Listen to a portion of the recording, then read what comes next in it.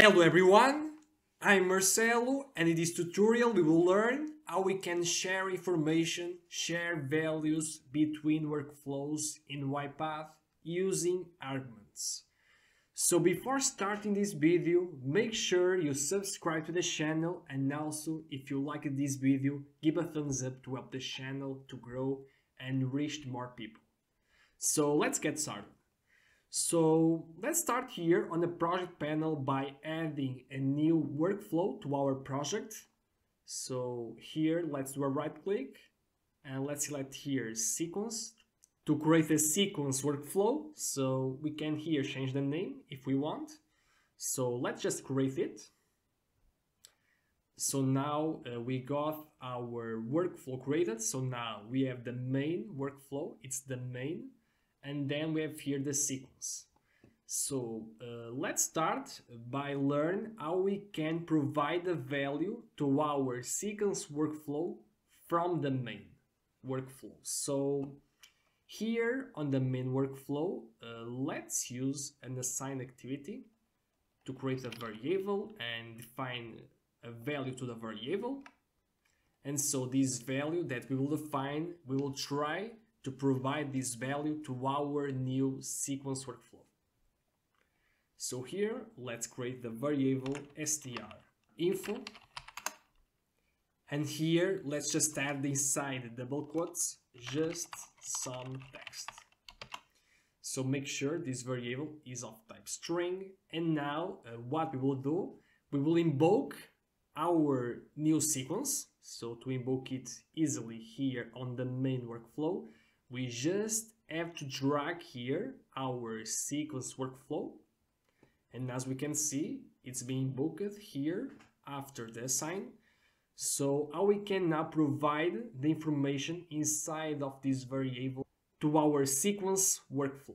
We will use arguments. So arguments allows us to share values between workflows basically so we need create an argument inside of our workflow that will receive so uh, the information that is stored on this variable. So to create an argument on our sequence workflow, first let's access it. And then here on arguments, we open the arguments panel and here we can create the arguments. So let's click here on create argument and create the arguments in str info. And now here very important directions. So here we define the direction of the argument. So for example if we define in that means that the argument is supposed to receive a value from uh, in our case the main workflow. If we define out this uh, argument it's supposed to give a value outside of the sequence workflow. So that means uh, give a value, uh, share a value to our uh, main. And in out means the two things, uh, share and receive a value. So let's see on practice how it works so it will be more easy to understand. So now if we save our sequence workflow after create arguments, so it's important to save first. And now uh, if we access to the main, we can see that if we click on import arguments appears now our new argument created on the sequence workflow. So here we can provide the information uh, to our arguments. So it will store, in our case, the value inside of our variable strInf. So by this way, it will be given the information to the arguments. So let's click on OK Let's save. And now to see if it's working, let's use here a message box on our sequence workflow to see so the value of our argument, to see if it has the value of our variable. So let's call the argument. And now let's run our project from the main. So let's run it. And as we can see, the argument received the value from our variable that it's declared on the main workflow. So now let's see how we can provide the value from the sequence workflow to our main. So let's create another argument. Now let's define it out. So that means that we will give a value for out of this uh, sequence. So here direction out. And now uh, let's just here finish to define the name. Str text for example. It's just to test. So now uh, let's define a value to this argument. So let's use assign and let's call the argument that we have created now. And let's here define the text. Uh, for example just some info for the main workflow so uh, make sure you save here. And now if we go again to our main and if you click on import arguments, we can see here our new argument of type uh, out direction.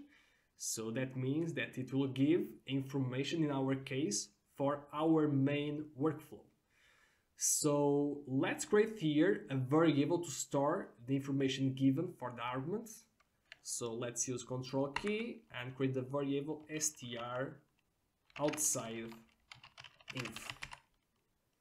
So let's click on enter to create. Let's click on OK and let's see a message box to see if we got the value from the argument. So let's here call the variable that will receive the information, the value from the out uh, argument and now let's execute our project again.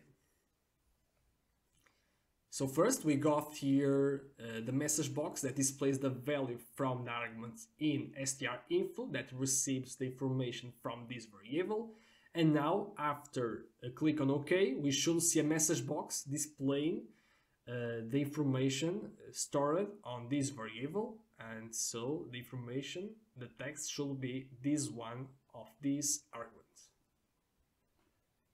And as we can see, the argument of out direction provided the information, the value to our main workflow. Now to finish, let's see how it works the in-out uh, direction. So here on the sequence workflow, let's create another argument with the name, for example, str in out just to distinguish easily. And now here on the direction let's select in out. So this argument can receive and then provide a value to our main workflow. So let's say let's access again our uh, main workflow and click here on import arguments and here we can see the new argument so let's provide here the same variable str info to this argument And so, uh, first, uh, this variable will provide the information that it stores to this argument. So this argument will receive this value.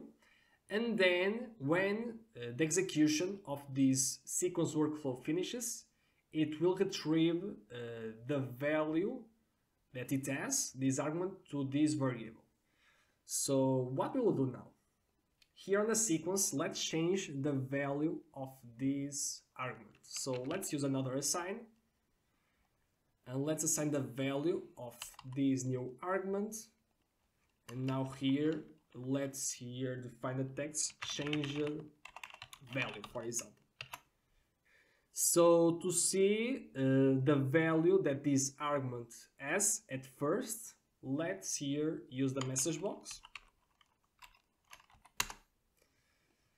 And so we will see the value of this argument first and then to see uh, the value after the execution of this sequence to see the value of this variable that at first has this information.